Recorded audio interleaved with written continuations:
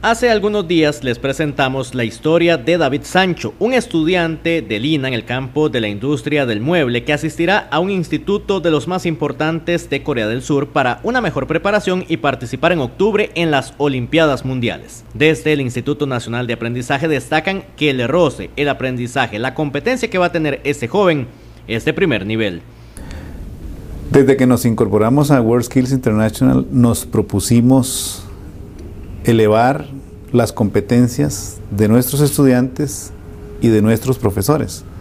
Para lograrlo se necesita diseño curricular, capacitación docente y revisión del equipamiento de nuestros talleres y laboratorios.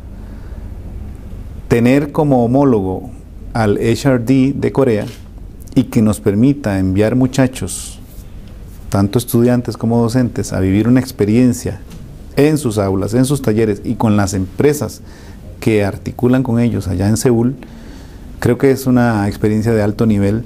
Y es que el apoyo por parte del país asiático es de suma importancia para la preparación de los estudiantes, y este generaleño tendrá un chance único para su crecimiento educativo en la industria del mueble. Que tenemos que agradecer al gobierno de Corea, al HRD y al GIF de Corea, que nos permita eh, hacer este desarrollo de nuestros estudiantes y docentes. Lo que se busca es eso, precisamente, que los muchachos y las muchachas que vayan a vivir experiencias dentro de la plataforma de World Skills International puedan rozarse, puedan vivir, puedan conocer las mejores prácticas de la industria y de la economía de alto nivel en cada uno de sus sectores. Es un gran reto, pero en el INA saben que Sancho y sus otros tres compañeros del país harán un gran papel y aprovecharán todos los conocimientos en Corea del Sur.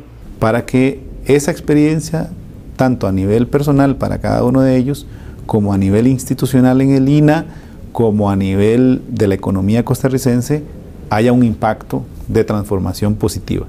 Eso es lo que se busca y que estos muchachos, en este caso uno de gastronomía, uno de tecnología de maderas y dos de robótica, vayan a hacer esta experiencia junto con sus profesores, pues nos da esa esperanza. El reto es lograr transformar el INA hacia eh, renovación de su oferta y que sea cada vez más pertinente a las necesidades del mercado laboral.